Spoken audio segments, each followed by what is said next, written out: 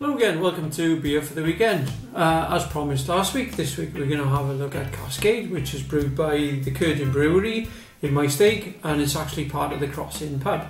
If you go online, what you will see is a nice little website, and it goes on to describe the brewery idea came to life uh, while Dave, the head brewer, was out walking the dog. Um, Cascade actually won the SIBA Bronze Award at the Ludlow Spring Festival. Um, let's have a quick look at the bottle.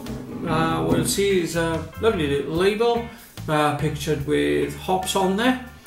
The beer actually comes in at 4.8% and a 500ml bottle. Now this beer is actually flavoured with Cascade hops, hence the name. Um, let's have a look at it in the glass. Let's get it in here. We've got to pour gently once again because uh, we'll upset the sediment if we don't. Beautifully carbonated, lovely little beer, looks nice and fresh, light. Lovely aroma of the Cascade hops, smells a bit citrusy.